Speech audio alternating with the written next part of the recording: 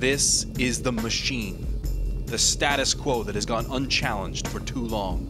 The machine gives us war without end, massive unemployment, thousands dying for lack of access to healthcare, an all out war on the environment, drone attacks that kill innocent civilians, a war on the middle class and working poor, underwater mortgages, the largest income gap between the rich and the poor in the history of our nation, and a president ushered into power on a wave of hope whose policies have enabled the machine to grow stronger, even as he leads us into yet another war. Today, I authorize the Armed Forces of the United States to begin a limited military action in Libya.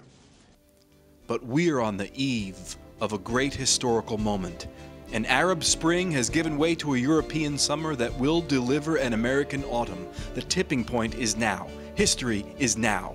In fact, Americans are already fighting back against the war on workers, against corporate tax cheaters, against environmental destruction in the name of profit, demanding health care for all, standing against our unsustainable blowback inducing foreign policy that gives us war without end.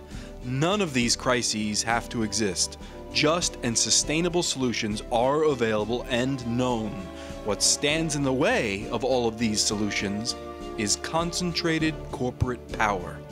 Standing against this power is a growing legion of non-violent creative resistors demanding that money be taken away from the corporate machine and reinvested in environmental protection, human needs, and a government that operates of, for, and by the people, not of, for, and by the corporations.